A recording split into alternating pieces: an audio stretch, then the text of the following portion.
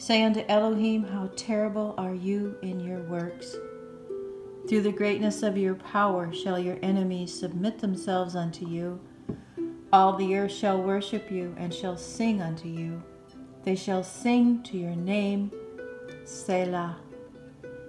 Come and see the works of Elohim. He is terrible in his doing toward the children of men. He turned the sea into dry land. They went through the flood on foot. Where did we rejoice in him? He rules by his power forever. His eyes behold the nations. Let not the rebellious exalt themselves. Selah. O bless our Elohim, ye people, and make the voice of his praise to be heard, which holds our soul in life and suffers not our feet to be moved. For you, O Elohim, have proved us. You have tried us, as silver is tried. You brought us into the net. You laid affliction upon our loins. You have caused men to ride over our heads. We went through fire and through water, but you brought us out into a wealthy place.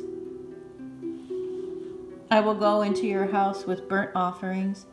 I will pay you my vows, which my lips have uttered and my mouth has spoken when I was in trouble. I will offer unto you burnt sacrifices of fatlings with the incense of rams. I will offer bullocks with goats. Selah. Come and hear all ye that fear Elohim, and I will declare what he has done for my soul.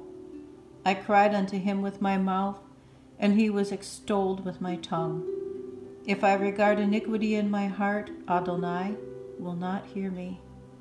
But truly, Elohim has heard me. He has attended to the voice of my prayer.